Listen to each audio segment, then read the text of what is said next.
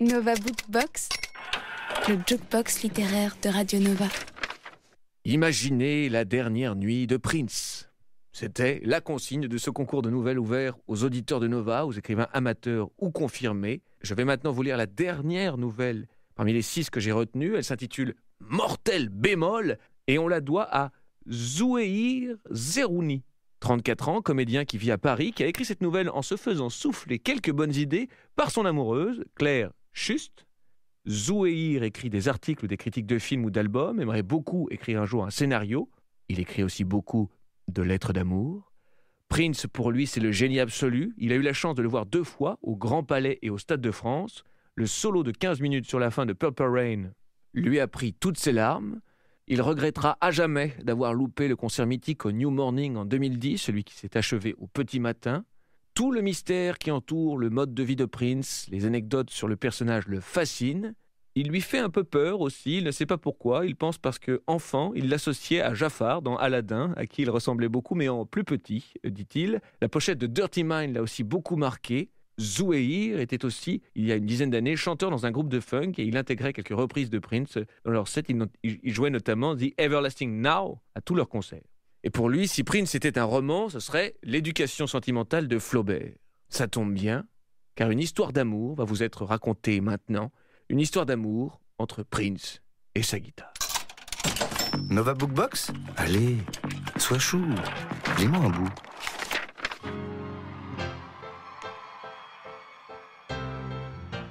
The Piano and a Microphone Tour.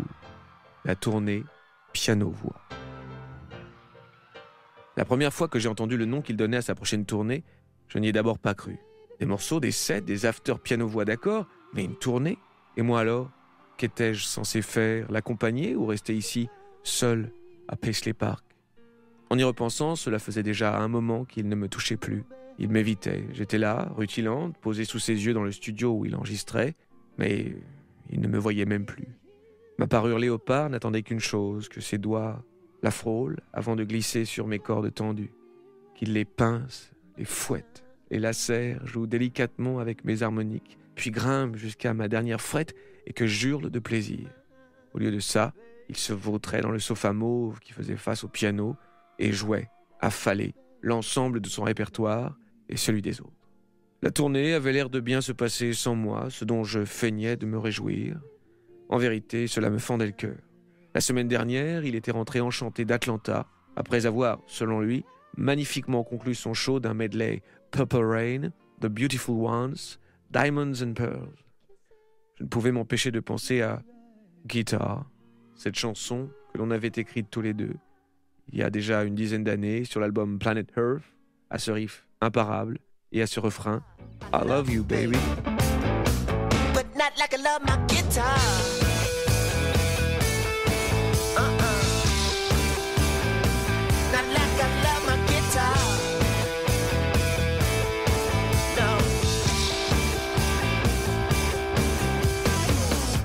Pouvait-on faire plus belle déclaration d'amour? J'étais devant toute sa favorite. Et ce soir pourtant, après 40 années passées près de lui, après des millions de kilomètres de cordes usées, changées, de micros révisés, de rafistolages divers chez David le luthier, de répétitions, d'heures de studio, de concerts, de jam, d'aller-retour entre le Minnesota et le reste du monde, je crois qu'il ne me veut plus dans sa vie. Qu'avais-je fait de mal? Où avais-je péché? Était-ce la lassitude? Le désir? Le plaisir se sont-ils éteints? Personne ne connaît mon corps comme lui.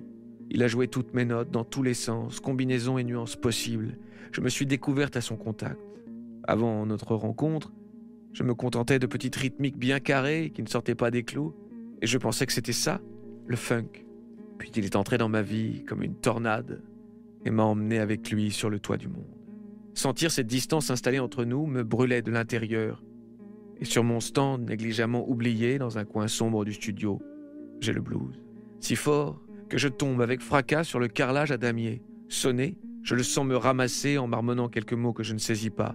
Je vois sur son visage qu'il a eu peur, et nous partageons une étreinte qui me réconforte un peu. Je suis surprise de le voir à ce point inquiet et d'apercevoir sur ses joues couler deux larmes. Je regrette que mon geste de désespoir l'ait à ce point effrayé, mais savoure la chaleur de ce moment.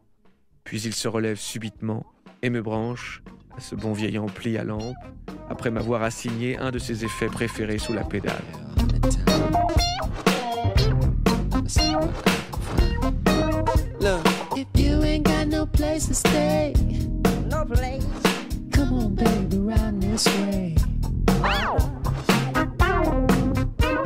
Spontanément, nous jouons 1 plus 1 plus 1 égale 3, et le plaisir est immédiat.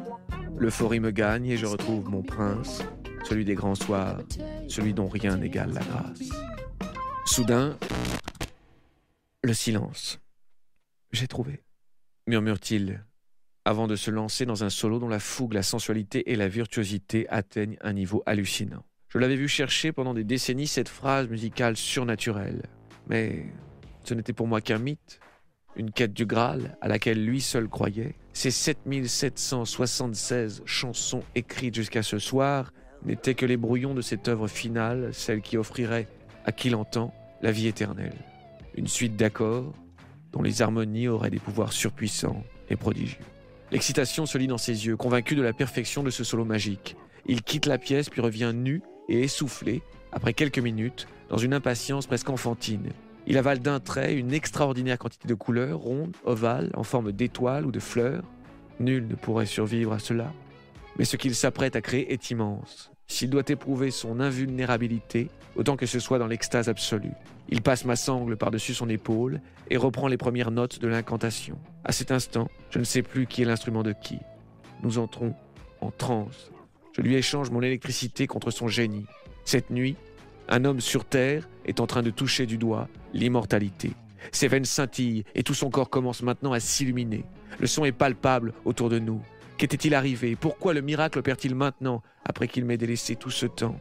Avait-il besoin que je lui manque autant pour que nos retrouvailles explosives génèrent un nouveau Big Bang? Alors que je me remémore son absence pendant un court instant, je frissonne et sans m'en rendre compte, soupire un bémol. La dysphonie est totale. Instantanément, tout s'éteint et l'énergie qui nous habitait s'évapore. Ahuri, je vois ce que je n'avais jamais vu jusque-là dans son regard. De l'incrédulité mêlée à la stupeur. Je l'ai trahi pour la première fois de ma vie et au pire moment imaginable. J'ai stoppé net cet élan de création qui allait changer la face du monde et j'allais par la même occasion tuer l'amour de ma vie. The formerly known as Prince allait disparaître dans une absurde overdose et par ma faute. Hagard, il me repose sur mon socle, fait quelques pas en arrière et s'effondre à même le sol. Ma dernière note, fausse et tragique, résonne encore dans le studio. Je prends la mesure de ce qui arrive, de l'infini. Nous sommes passés au néant. Les demi-dieux sont mortels.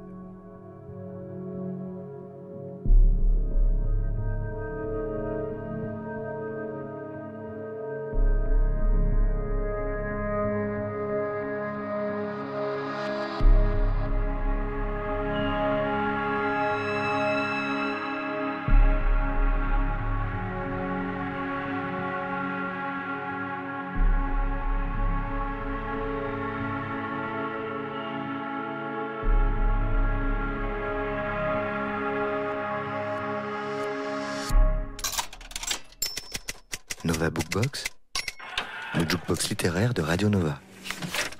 Mortel bémol, une nouvelle de Zouéir Zerouni avec l'air juste, l'ultime.